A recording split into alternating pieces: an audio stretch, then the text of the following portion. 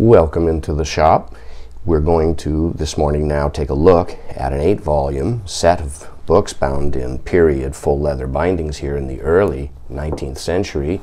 It's The Spectator.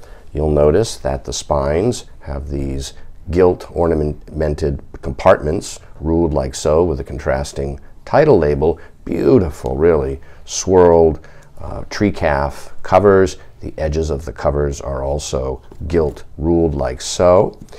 Uh, the front cover of the first volume is fully detached like this. Uh, this is how the set uh, survives and has come down to us.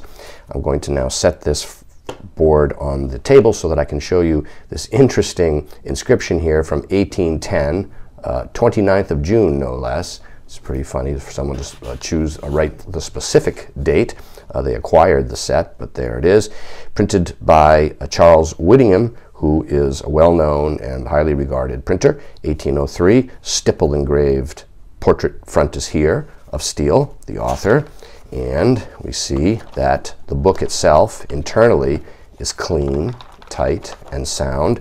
What's happened at some point is the leather has dried along this front joint and the board just became, it broke off. And that is often what happens with old antiquarian leather bound books uh, that uh, are not leather dressed. Uh, over time, the leather can dry, and so you have to handle books of this era with a bit of care. And if you uh, can avoid, uh, for the most part, uh, opening the front cover more than about 90 degrees to the book itself, there's that same early 1810 inscription. It's in the front, I believe, of each volume.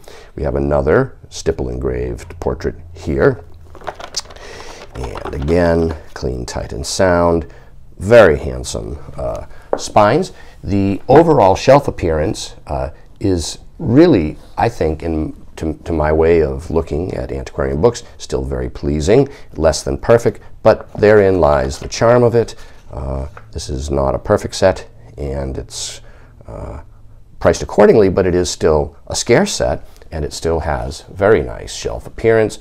So you would just need to decide whether you can live with that uh, front cover the way it is.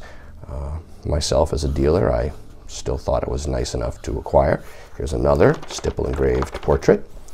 And look at these covers. These are really beautiful. That's very, very nice work right there. And there's another Addison portrait. And the next volume, like so, like this. There's his signature. And this portrait here, Congreve, volume the sixth, and here's the seventh. This is a complete set. It's been, looks like it's had a little bit of work done too at some point, uh, a little bit of rebacking there. The uh, joint here is cracked, but the cover is still firmly attached by the binding cords. There's Pope right there. The final volume we see here. Look at this, yes. Never get tired of looking at these kinds of uh, marbled leather covers. And here is Swift. And so you've seen now the insides and the outs of each volume. And it is available now online from me, Brian DiMambro.